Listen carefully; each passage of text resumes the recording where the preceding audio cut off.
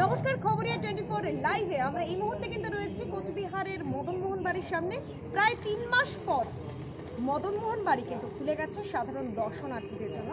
গত বৃহস্পতিবার থেকে কিন্তু মদনমোহন বাড়ি খুলেছে। কীভাবে মদনমোহন বাড়িতে কি হচ্ছে, তা দেখে নেব।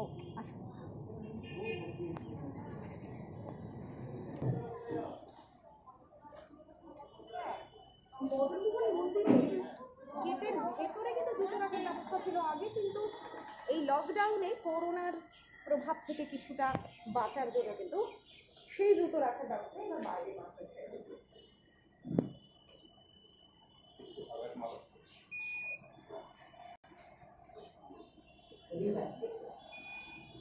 থার্মাল স্ক্রিনিং রয়েছে একেবারে গেটের প্রবেশে প্রথমেই আর তারপর আগত দর্শনার্থীদের। নাম ঠিকানা লিখে রাখার ব্যবস্থা করা হচ্ছে একই সাথে দর্শনার্থী এবং যিনি নাম ঠিকানা নিচ্ছেন তার মাঝখানে কিন্তু পৃথক করে দেওয়ার ব্যবস্থা করা হচ্ছে কোচবিহারে মধুমতি বাড়িতে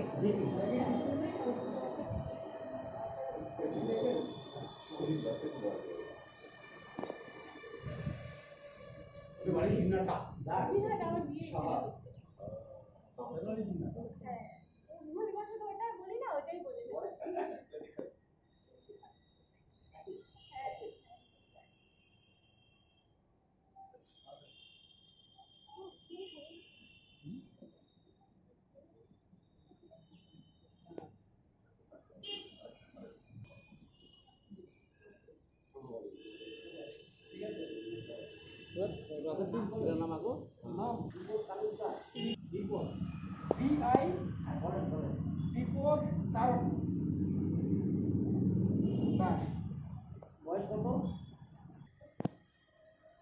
প্রায় তিন মাস পর মদনমোহন মন্দির খুলে যাওয়া এবং ভক্ত সমাগমে অনেকটাই কিন্তু প্রাণ ফিরে এসছে প্রাণের ঠাকুর মদনমোহন দেবের। একই সাথে এইখানে যে আগত দর্শনার্থীরা তাদের কথাও কিন্তু শুনে নেব আমরা। এসছেন এই যে এতদিন পর মদনমোহন বাড়ি খুলে গেছে বৃহস্পতিবার থেকে কতটা ভালো লাগছে? কারণ ভালো লাগছে। এর আগেও আমরা এসেছিলাম তখন মন্দিরটা খোলা ছিল না। এই যে এলাম ওই কারণে। একদম। কতটা খুশি মদনমোহন বাড়ি খোলায়? এতদিন পর খুলেছে খুব খুশি। করোনার জন্য কিছুটা কি ভয় লাগছিল আসতে? ভয় লাগছে না। ঠিকই আছে তোমার নাম কি? বলো রাই। বলো। বলো রাই। আমরা? আমরা আমাদের এখানেই বাড়ি আমরা রোজ আসি। রোজ রোজ আসেন। ঘুরে যেতাম এতদিন খারাপ লাগতো এখন দু তিন দিন থেকে ভালো লাগছে।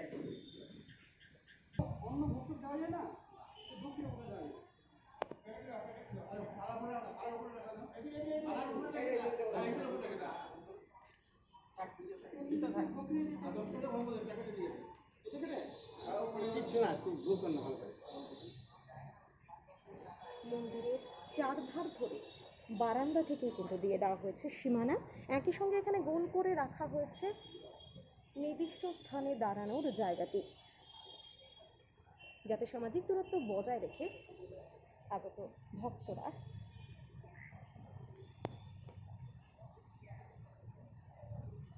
সামনে দাঁড়াতে পারেন সেই জন্য।